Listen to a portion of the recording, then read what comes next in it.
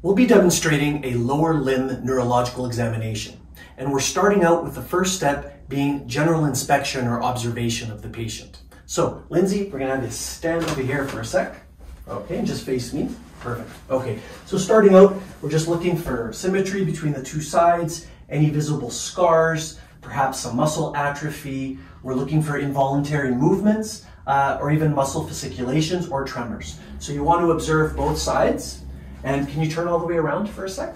Front and back, of course. Okay. Good, perfect. Yeah, and you can face me. The next part is a gait analysis, observing the patient walking, basically. So first off, you want to see if the patient's able to stand on their own without the use of their arms to help. So what I want you to do is cross your arms and then just stand. Okay, perfect. And you can relax the arms. So we're just going to walk over here. And next, I'm just going to observe your natural gait. You're walking. So I want you to walk down the hall. There you go.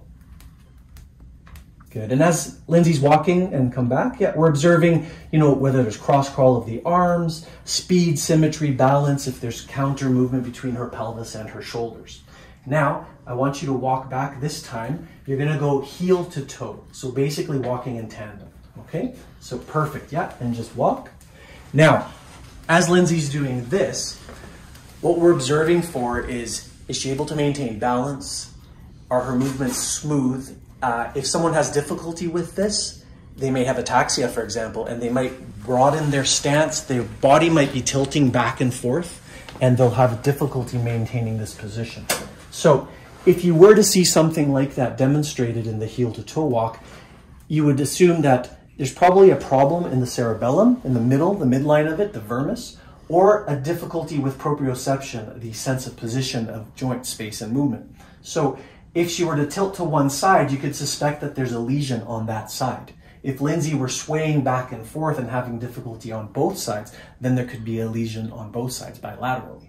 So it's something to observe. You definitely want to make sure that the patient is able to balance. If not, Perhaps stand a little closer to your patient as you observe them in case they do fall or tip over, just to make sure they don't hurt themselves. Continuing with the gait analysis and observation, we're going to do a heel walk and a toe walk. So starting out, I want you to do the toe walk. So stand up on your toes and then walk. And we're observing here, we're, we're assessing the, the power of plantar flexion here. Good. Perfect. Okay, and now do a heel walk. So this is assessing dorsiflexion, your ability to maintain it, basically. Good. Yeah, it's a little hard to turn, no problem. Keep going. Good. Perfect.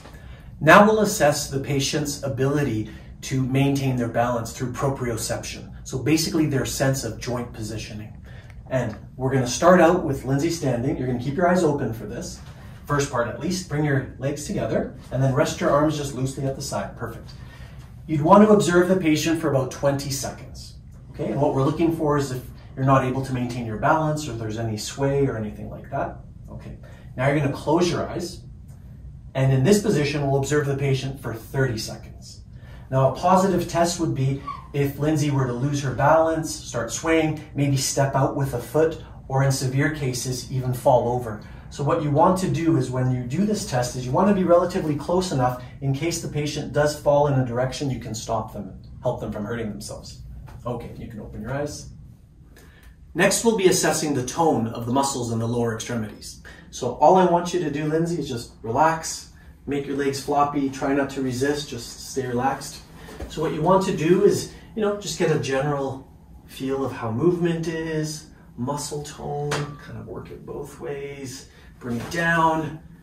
Just let go. Yeah, nice and floppy. You know, kind of following it down here. And you want to do both sides. So we're to come over here. Same idea, just a little bit of motion both ways. Yeah, try to relax the leg there if you can. Just kind of move it back and forth. Good. Just here. Okay, and one thing you could also do is just kind of let the knee go, just make it heavy. Just a little bit of the, of the knee bounce here. Okay, good. Now, once you've assessed the tone, you want to check for ankle clonus as well. And if that were positive, it would suggest an upper motor neuron lesion. So what we would do here is just going to move your ankle in different uh, directions and then at a certain point, you'll feel a quick movement, okay?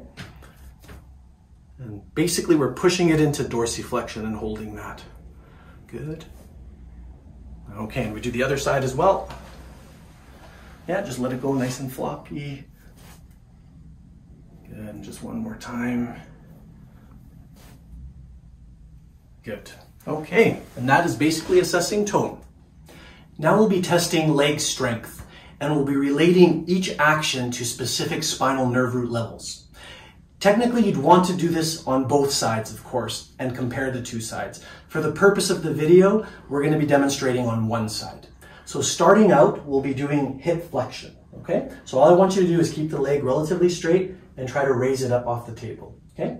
As you do that, I'm going to resist. So I'm going to stabilize your pelvis here, so bring the leg up. Okay, I'm going to push down and you resist. Now this is testing the L1, L2 nerve root levels. Good, and relax there, good. Now we're into the opposite motion, so hip extension. I want you to push your, your leg into the table, okay? But first, let me position myself here. I'm gonna place on the back of your leg. Now push down into the table. I'm gonna try to lift your leg up. Now push down. Good. Now this is testing L5, S1 levels. Perfect, good. Now we're gonna do adduction. So adduction, bringing the legs in together. So bring the legs apart. And on this one, all I want you to do is bring your legs in. So I'm going to position my hands here by the knees. Okay, now bring in. There you go. Now this is testing L2 and L3 levels. Good, and relax. Now we're going opposite. So you're going to push the legs outward. So right here, and go. Great. Now this is L4 and L5 levels. Good, and relax. Okay, now we're going to test knee flexion, okay? It's going to bring you into this. All I want you to do is pull your heel in towards your hamstring like that, okay? And I'm gonna resist. Ready? Okay, now pull it in. This is testing the S1 level. Good. Now we're doing the opposite. So you're gonna try to straighten your leg this way. So this is knee extension. We're testing L3, 4. Okay, and go. Perfect. Good. And relax. Give you a small break for a few seconds there. Okay. Now, what we're gonna test is ankle dorsiflexion, okay? So you're gonna pull the foot back like that. Don't let me point your foot back down, okay? So hold it up in that position. Okay, I'm gonna stabilize. This is testing the L4 level. Good, okay. Now point your foot all the way down, so into plantar flexion. I'm gonna try to straighten this by pushing it back. You resist, okay? Mm -hmm. And this is testing S1 and S2 levels. Good. Okay, perfect. Now what I want you to do is relax foot. You're gonna pull your big toe back. So this is testing the extensor hallucis longus, specifically L5. So pull that big toe back. Don't let me bend it forward. Perfect, good toe extension. Okay, and relax. Now we're gonna do ankle inversion. So you're bringing it into, into inversion. I'm gonna try to push your foot back out the other way, okay? Now this is testing L4. Ready? Okay, and resist. Good. Okay, and relax. Now we're going to do ankle eversion. Bringing out that way, I'm going to try to push it back in. You resist, okay? This is testing S1 and S2. Actually, mistake, this is L5, S1, to correct myself. There you go. Good, and relax. Perfect. And as I mentioned earlier, we would be testing both sides. Now let's test the lower extremity reflexes. So starting out, we're gonna look at the patellar or knee jerk reflex, which is the L3, 4 levels. So just let the legs dangle, let them loose. Gonna tap here. And as you can see, I'll do it one more time. It's a normal reflex. Moving down to the ankle or Achilles reflex, we're testing L5S1. Now just let the foot go loose. I'm gonna bring it into of dorsiflexion.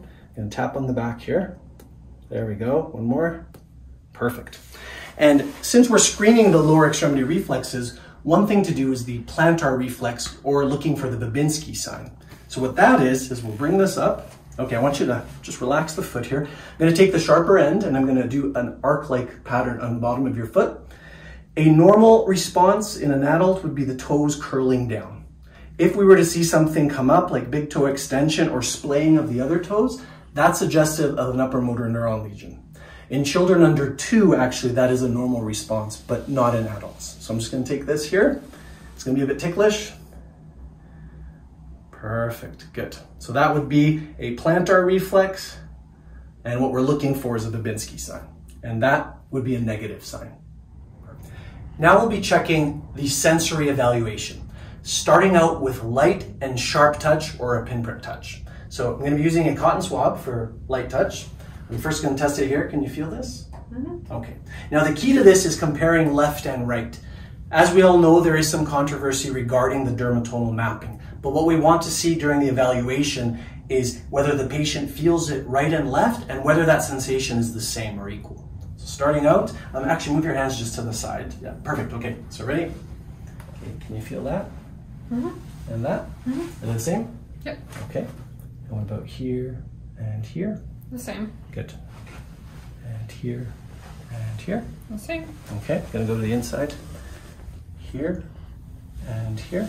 The same. Same? Okay. Gonna follow it down a bit here and here. Same. Same? Okay.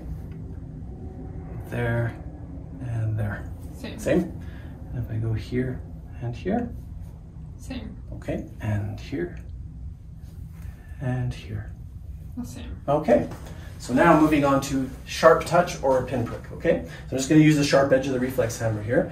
Uh, for this one, I'll probably do it just by your collarbone here. Just let me know. Can you feel that? Yeah. Okay. And you can feel the difference, this one sharp versus, okay. So same idea, I'm going left and right, okay? So here Mhm. and here, Same. same. There and there, Same. okay? About here and here, Same. okay? There, there, Same. Same. Okay. Here and here. Same. Okay. What about here and here? Same. And then here and here. Same. And just one more. There and there. Same. Okay, good. And that's a general screening for sensation. Now that we've done the general screening for light and sharp touch, there's one other sense we should test, which is vibration sense. So Lindsay, what I want you to tell me is if you can feel the vibration and when it stops, okay? So, can you feel that? Mhm. And then tell me when it stops. Stopped. Okay. Can you feel that? Yeah. And once again, let me know when it stops. Now. Okay, great. Now we'll be moving on to joint position sense, known as proprioception. So for this one, Lindsay, I'm just going to demonstrate a few movements so you understand what we're doing. Okay, this is up and that's down, okay? Mm-hmm. So one thing to note here is when you are testing this, you don't want to be holding the top of the nail or bottom of the toe because that pressure will actually kind of give a hint or guide the patient in terms of which direction you're moving. So you want to stabilize from the sides of the phalanx and the sides of the lower part of the toe. Okay, now you tell me which direction, okay? Down. Okay, Up. Up. Down. perfect, good. Now, once again, we would be doing this on both sides. And the last part of the lower extremity neurological examination is a coordination test. So for this one, first off, we're gonna do a heel to shin test. So Lindsay, I'll demonstrate here. I want you to, you're gonna bend your knee, you're gonna bring the leg over, and then run your heel down the length of your shin. Come back, and then back up, and continue that cycle, okay? For a number of times. Okay, ready? Do you get it? So let's go. So bring that up.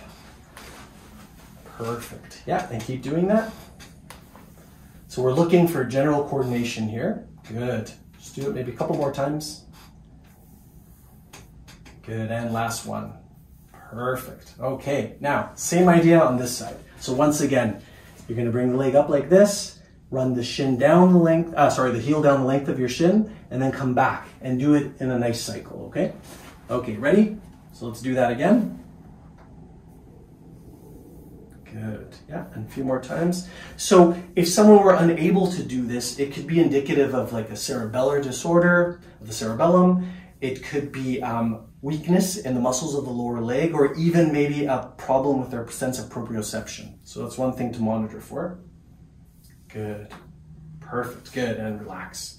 And now, last part, another coordination test is the tapping test. So you're going to basically tap my hands with your feet And keep going as fast as you can and try to coordinate the movement on both sides. There you go. Good. Yeah. Tap. There. Keep going. Okay. Good. Perfect. Okay. Hmm. And that concludes the lower extremity examination.